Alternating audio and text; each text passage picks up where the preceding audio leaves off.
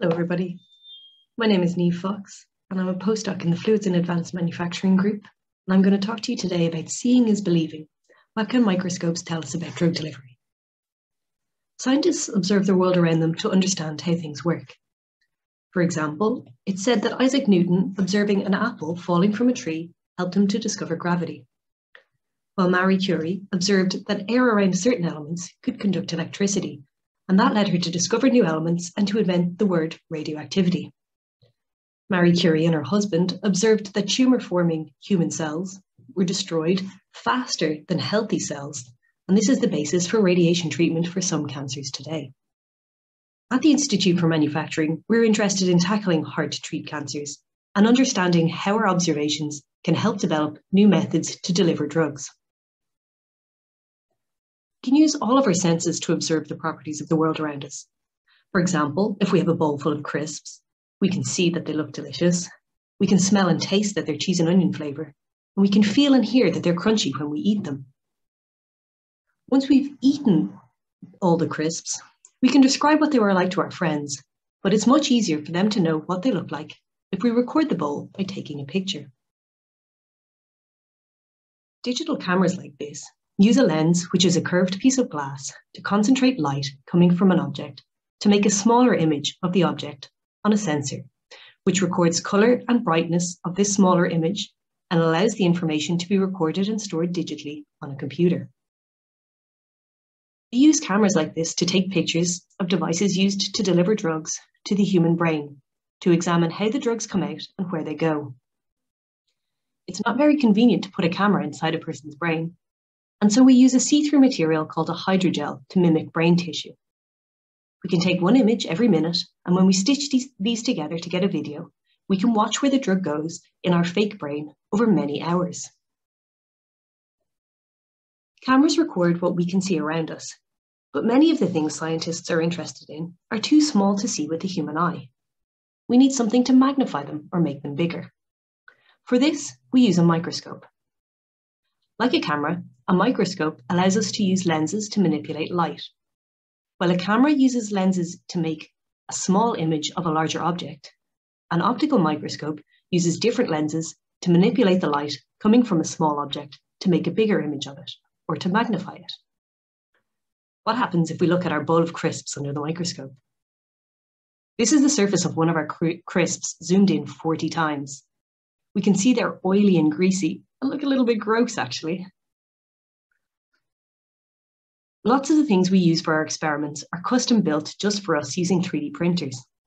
The 3D printers we use project light onto a material called a resin. The area that interacts with the light hardens, and by controlling where the light moves in a specific pattern, an object can be produced. This means we can have objects made that are exactly the size and shape to fit our experiments. Because we're trying to examine things inside the human body, sometimes parts of the objects we have 3D printed are very small, and we need a microscope to see them and make sure they're printed correctly. For example, we can see in this image that one of the pillars from our device hasn't printed properly. We use printed devices like this to look at how drugs that are in the top channel move across the human tissue mimic mentioned earlier to investigate how drugs move out of the bloodstream and reach their tar target sites. Optical microscopes capture light that bounces off or is reflected by the small objects we're examining. The problem with observing drug molecules like this is that they're very, very tiny, and so we can't see them with the normal microscope. But we're lucky. Some molecules give out specific light of their own when light of a particular colour is shone on them, and this is called fluorescence. Lots of materials are fluorescent, and some of these go into making fluorescent light bulbs, for example. We can use a fluorescent microscope to look at fluorescent light from these materials, and this lets us look at the tiny drug molecules we're interested in. If we think about the onion flavour in our crisps, we can use fluorescent microscopy to look at the cells of the onion that make up the flavouring. If we add a green dye to the onion cells, the dye moves into the cell wall and we can see where they would be. We can attach this same dye to the drug to drug carrying nanoparticles and watch how the drugs cross the hydrogel to mimic how it would move out of the bloodstream. The nanoparticles can have various sizes and are biocompatible, which means they're not harmful to the human body. Fluorescent microscopy only works for materials that are fluorescent or for fluorescent dye can be added. When we want to look at something very tiny, we have to use an SEM, which stands for Scanning Electron Microscope. SEM doesn't record light. Instead, it records the different types of electrons given off when a beam of electrons is focused on a sample using a special type of lens. Electrons are the negatively charged parts of atoms. One of the things that often makes crisps so tasty is the salt flavoring used on them. Salt is made up of sodium, which is a positively charged ion, and chlorine, which is a negatively charged ion. These pack together in a structure called a crystal lattice. They build up to make cube shapes that can be even narrower than a human hair. We use SEM to look at patterns we print into flexible materials, to embed drugs into them, and then release when they come in contact with water. The droplets used in these patterns can be as tiny as 15 microns, which is smaller than a white blood cell. If the printing process cannot be controlled, the pores you see here can close over. And this delays the final release of the drug to the patient.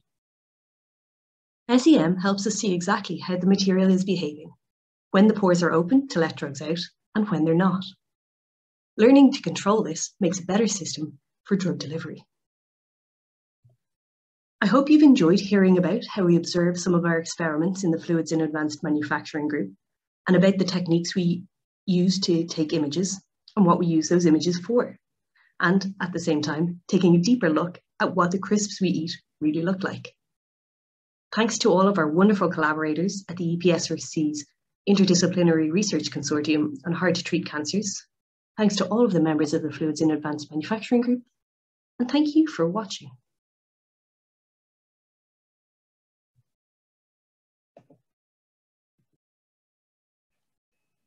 Hello, everybody. My name is Niamh Fox, and I'm a postdoc in the Fluids in Advanced Manufacturing group. And I'm going to talk to you today about seeing is believing. What can microscopes tell us about drug delivery? Scientists observe the world around them to understand how things work. For example, it's said that Isaac Newton observing an apple falling from a tree helped him to discover gravity, while Marie Curie observed that air around certain elements could conduct electricity and that led her to discover new elements and to invent the word radioactivity. Marie Curie and her husband observed that tumour forming human cells were destroyed faster than healthy cells, and this is the basis for radiation treatment for some cancers today. At the Institute for Manufacturing, we're interested in tackling hard to treat cancers and understanding how our observations can help develop new methods to deliver drugs We can use all of our senses to observe the properties of the world around us. For example, if we have a bowl full of crisps, we can see that they look delicious. We can smell and taste that they're cheese and onion flavour.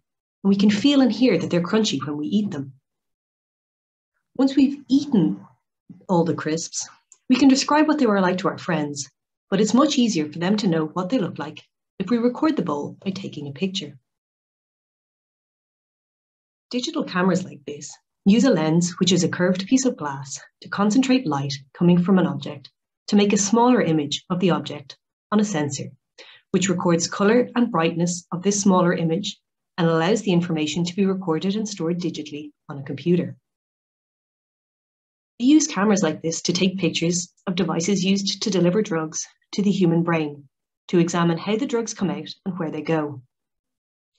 It's not very convenient to put a camera inside a person's brain, and so we use a see-through material called a hydrogel to mimic brain tissue. We can take one image every minute, and when we stitch these, together to get a video, we can watch where the drug goes in our fake brain over many hours. Cameras record what we can see around us, but many of the things scientists are interested in are too small to see with the human eye. We need something to magnify them or make them bigger. For this, we use a microscope. Like a camera, a microscope allows us to use lenses to manipulate light. While a camera uses lenses to make a small image of a larger object, an optical microscope uses different lenses to manipulate the light coming from a small object to make a bigger image of it or to magnify it. What happens if we look at our bowl of crisps under the microscope? This is the surface of one of our crisps zoomed in 40 times. we can see they're oily and greasy and look a little bit gross actually. Lots of the things we use for our experiments are custom built just for us using 3D printers. The 3D printers we use project light onto a material called a resin. The area that interacts with the light hardens, and by controlling where the light moves in a specific pattern, an object can be produced. This means we can have objects made that are exactly the size and shape to fit our experiments. Because we're trying to examine things inside the human body, sometimes parts of the objects we have 3D printed are very small, and we need a microscope to see them and make sure they're printed correctly. For example, we can see in this image that one of the pillars from our device hasn't printed properly. We use printed devices like this to look at how drugs that are in the top channel move across the human tissue mimic mentioned earlier to investigate how drugs move out of the bloodstream and reach their tar target sites. Optical microscopes capture light that bounces off or is reflected by the small objects we're examining. The problem with observing drug molecules like this is that they're very, very tiny, and so we can't see them with the normal microscope. But we're lucky. Some molecules give out specific light of their own when light of a particular colour is shone on them, and this is called fluorescence. Lots of materials are fluorescent, and some of these go into making fluorescent light bulbs, for example. We can use a fluorescent microscope to look at fluorescent light from these materials, and this lets us look at the tiny drug molecules we're interested in. If we think about the onion flavour in our crisps, we can use fluorescent microscopy to look at the cells of the onion that make up the flavouring. If we add a green dye to the onion cells, the dye moves into the cell wall and we can see where they would be. We can attach this same dye to the drug to drug carrying nanoparticles and watch how the drugs cross the hydrogel to mimic how it would move out of the bloodstream. The nanoparticles can have various sizes and are biocompatible, which means they're not harmful to the human body. Fluorescent microscopy only works for materials that are fluorescent or for fluorescent dye can be added. When we want to look at something very tiny, we have to use an SEM, which stands for Scanning Electron Microscope. SEM doesn't record light, instead it records the different types of electrons given off when a beam of electrons is focused on a sample using a special type of lens. Electrons are the negatively charged parts of atoms. One of the things that often makes crisps so tasty is the salt flavoring used on them. Salt is made up of sodium, which is a positively charged ion, and chlorine, which is a negatively charged ion. These pack together in a structure called a crystal lattice. They build up to make cube shapes that can be even narrower than a human hair. We use SEM to look at patterns we print into flexible materials, to embed drugs into them, and then release when they come in contact with water. The droplets used in these patterns can be as tiny as 15 microns, which is smaller than a white blood cell. If the printing process cannot be controlled, the pores you see here can close over. And this delays the final release of the drug to the patient. SEM helps us see exactly how the material is behaving, when the pores are open to let drugs out and when they're not. Learning to control this makes a better system for drug delivery. I hope you've enjoyed hearing about how we observe some of our experiments in the Fluids in Advanced Manufacturing group and about the techniques we use to take images and what we use those images for. And at the same time, taking a deeper look at what the crisps we eat really look like. Thanks to all of our wonderful collaborators at the EPSRC's Interdisciplinary Research Consortium on Hard to Treat Cancers.